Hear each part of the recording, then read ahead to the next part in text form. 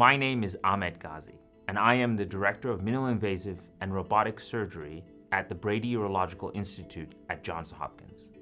I specialize in the minimal invasive treatment of various urological diseases, including kidney cancer, prostate cancer, complex stone disease, and also benign prostate enlargement.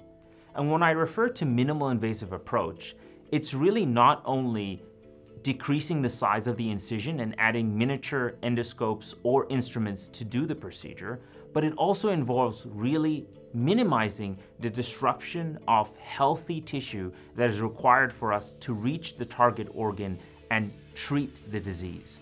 So not only does it lead to improved patient outcomes, but it also leads to a more rapid recovery.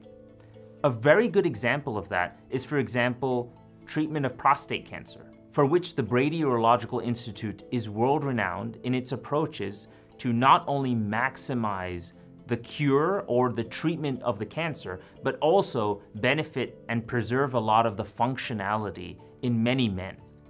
This was done through a large abdominal incision. Now it's being done through six small incisions using a Da Vinci robot. And that robot enables us not only to do the procedure more effectively, but also leads to a very rapid recovery for patients. My research focuses on the perfection of surgical care using transformative, innovative approaches. There's a question that a lot of my patients ask me when I'm counseling them for surgery is how many of these procedures have you done or have you done this procedure before?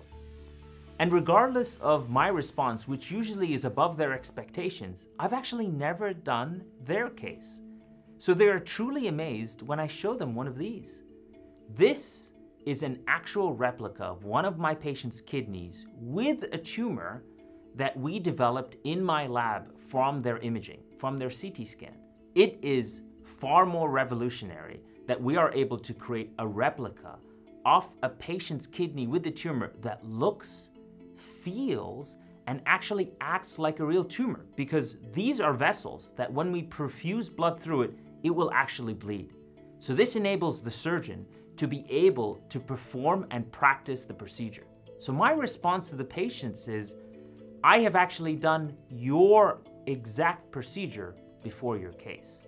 In a study that we did where we took 100 complex kidney masses and had surgeons practice their case beforehand, we found out that it not only improved surgeon confidence, but it also decreased complication, the cancer margin rates, and also hospital stay.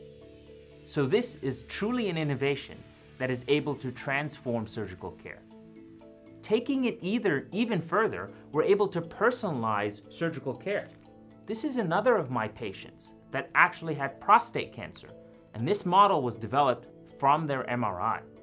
And if you look here, you'll find on the left side that the cancer is not sticking out as far, while on the right side, it is extending significantly into the surrounding tissues. Now this is not evident when we do the procedure, so being able to practice on this model before the case enables me to, on the left side, preserve as many nerves as I can, so preserving their postoperative erections, while on the right side going wide to prevent a positive margin. And this is personalizing surgical care, not only for every patient, but for each side of a single patient. And this is only present at the Brady Urological Institute at Johns Hopkins. My philosophy for patient care is one that focuses mainly on the patient. You know, in medicine, we are taught to actually categorize diseases, stages, into really buckets, because that's how we treat our patients. You have low grade versus high grade versus intermediate grade. And unfortunately, because it's a habit, we tend to do the same thing with patients, is categorize them into groups. But I believe that we should not do that, and we do a disservice to our patients by doing so. Is that every single patient has a certain need and a certain set of needs that we need to cater to. And my philosophy really focuses on patient centered care.